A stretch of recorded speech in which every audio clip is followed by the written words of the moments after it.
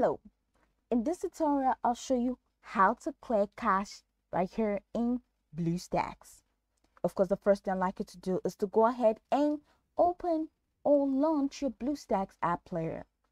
Now, if you do not have BlueStacks app downloaded on your PC, head over to Google search panel using any browser of your choice.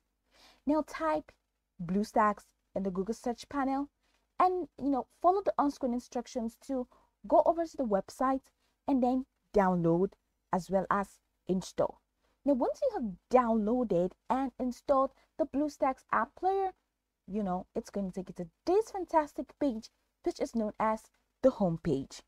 So right here we have a very simple task to do today which is how to clear cache in BlueStacks. Okay, the process is pretty much simple if you follow these few steps I'll show you.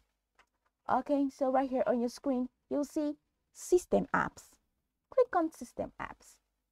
And then you see Camera Settings, Chrome, Media Manager, and Play Store. So head over to Settings.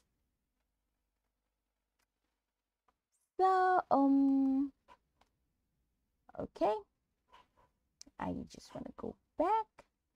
Okay, so right here, uh, in um, settings you know I was here before so of course it's it's going to take you to all right. So right here in settings it says uh all apps. Okay so this is all apps right here in settings. So you have to choose the app that you want to clear your cache. You understand? So for example, this is a BlueStacks launcher. BlueStacks, let's go with BlueStacks X. So click on BlueStacks X and let's see how to clear cache right here in BlueStacks X. So here you see storage notification. So just go ahead and click storage. Okay, so here it says um clear data and yeah, it says clear cache. So you do not have any cache, so there's no cache to clear. But if there's cache to clear, this will be enabled and you'll be able to clear cache. So let's go back and check for another app that might have cache for us to clear.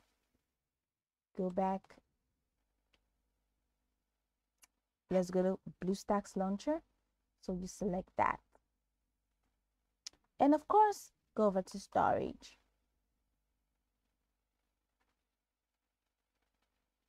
Oh, tada, you see, you have uh, 80 KB of cache to clear.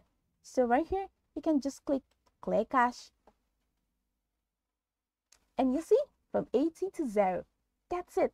That's how I have been able to clear cache on BlueStacks Launcher. So of course, you can go over there, you can go back and clear cache for every other app that you want to clear cache on into the camera, calling, whatever. But this is pretty much how to clear cache right here in BlueStacks. I hope this video helped your search.